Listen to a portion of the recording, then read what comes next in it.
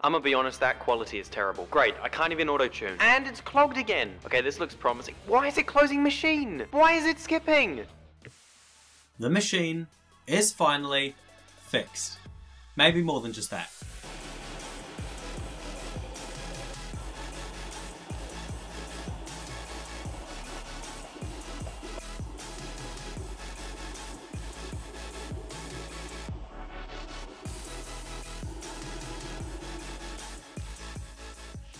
After around 3 months with this machine, I believe I've successfully brought it back from the dead and turned it into an incredibly capable piece of equipment. Now let's go over this episode's upgrades, and then do a recap of the entire project so far. After a quick segment from this video's sponsor, PCBWay. Whether it's PCB fabrication, 3D printing, or CNC machining, PCBWay has you covered. Bringing your next project to life has never been easier. Simply upload your chosen files to their site and select the exact way you want your part produced. For 3D printing, you have the option to get your part made with FDM, SLA, and even SLM technology, meaning you can get your parts made out of resin, polycarbonate, aluminum, or even titanium. I don't think your Ender 3 can do that. No matter the quantity required, whether it's one or a thousand parts, check out PCBWay for your next project in the description below. And thank you PCBWay for kindly sponsoring this video. Getting straight into it, I installed the recently arrived PEI flex plate. Since then, I've had perfect bed adhesion every single print, and it's actually amazing. Speaking of amazing, the bimetal heat break finally arrived as well. It's mostly made out of copper with what I believe to be a steel or titanium insert for decreased thermal transfer. Since installing it, I've had no hotend clogs at all and I believe it has had a positive impact on my machine. It's no Slice Engineering product, but for $10 I really can't complain. I've also been using the CHT clone nozzle since installing it with absolutely no issues. So I've spent the last 30 minutes trying to get the heat break out of that thing. It just would not budge. So I'm probably going to spend the next 30 trying to install the new one, but uh, at least we're getting there. The extruder I ordered also arrived. It's a mellow dual gear BMG clone extruder, which costs half as much as the machine itself, but the build quality is really good and is reflected in the print quality. Since the broken machine at the time of filming is still not printing accurately enough, and with it also being clogged, meant that I needed to print the new electronics enclosure on my Ender 3, which finally got a part cooling upgrade after over 2 years. The enclosure looked good, and I added some heatset inserts that I can use screws from the bottom to close it. I then designed a bracket that could mount all the necessary hotend components easily in one place.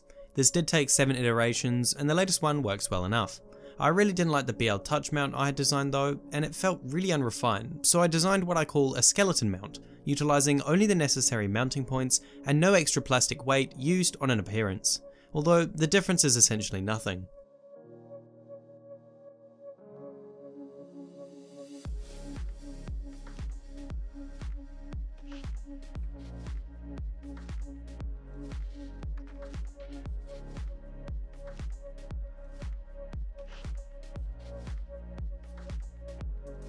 After adding the heatset inserts to the bracket, it was now time to mount all the electronics to the base plate.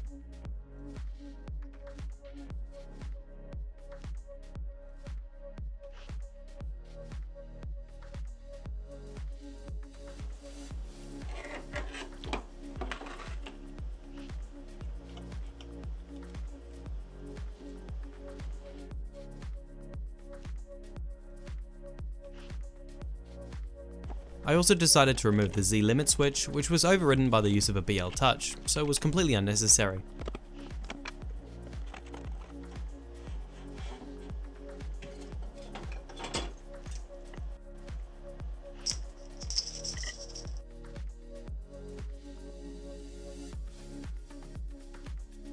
I then soldered a connector onto the electronics fan, which will provide more than enough cooling for the electronics.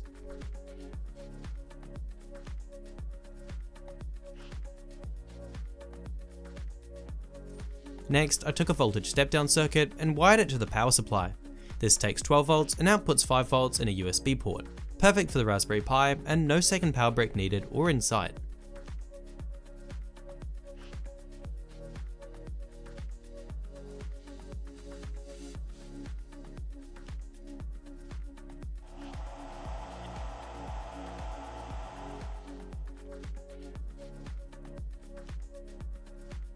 It was now time to uninstall the old toolhead and install a new one.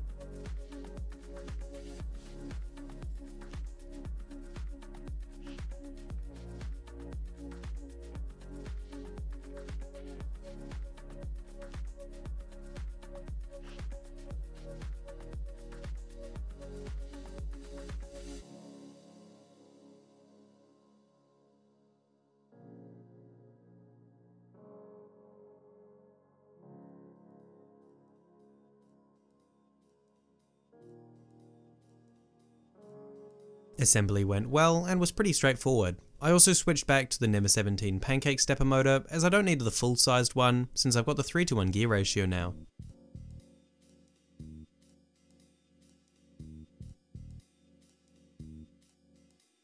So the E-steps are going to be need to be completely recalibrated. I mean, this is a 3 to 1 gear ratio extruder, unlike the uh, 1 to 1 that we had before.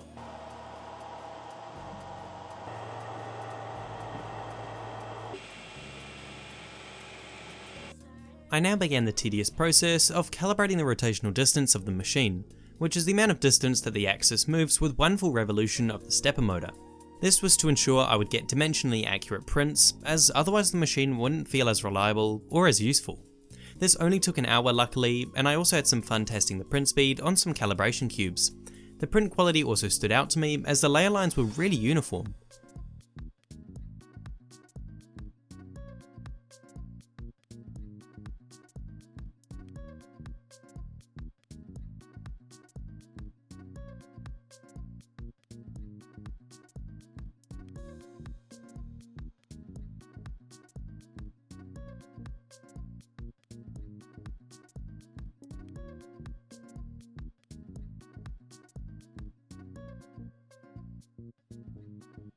Once I had printed a handful of cubes, I went on to print a benchy with no adjustments in size to the slicer, to see if the accuracy was improved.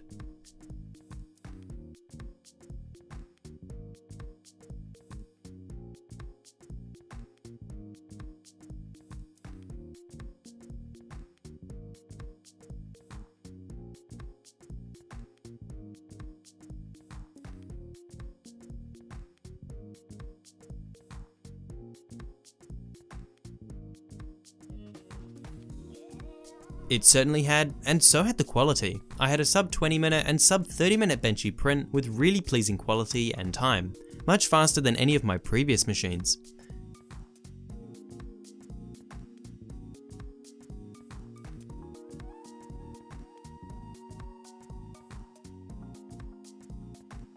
I also redesigned the fan duct and did a water test, which performed quite well despite the duct not being designed that well even after a revision.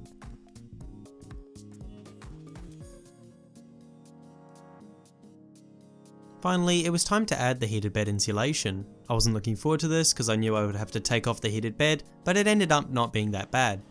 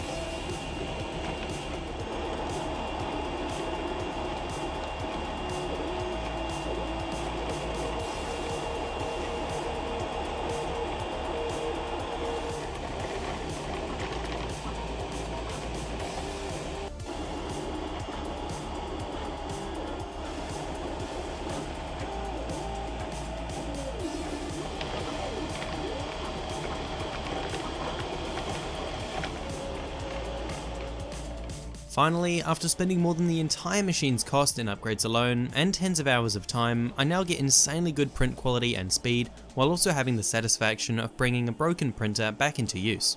I could have left the machine stock once I got it working, but upgrading 3D printers is something I really enjoy doing, so this machine will remain as my test machine for the seeable future, as Klipper makes config changes really easy, and I'm really familiar with the hardware now.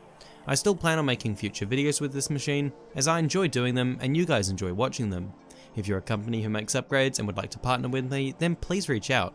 So once again, thank you so much for watching and hopefully I'll see you guys again soon.